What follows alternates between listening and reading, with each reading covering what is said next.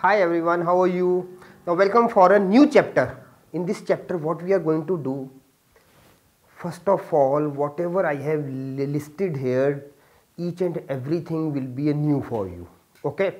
Now just going for the heading of the topic of the chapter first of all it is permutation and combination.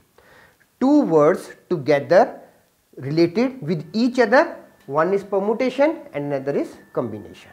Now I am going to give you a brief introduction about the topic and after that each and every term is new for you. For example, we are having fundamental principle of counting that is called FPC. Then factorial notation, a totally new term for you.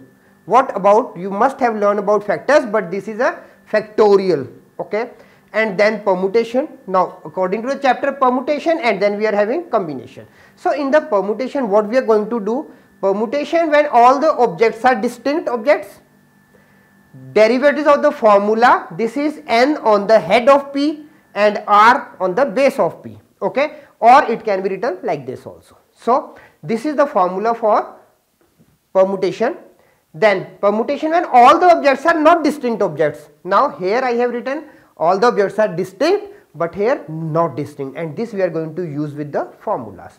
Then we are having circular permutations, combination.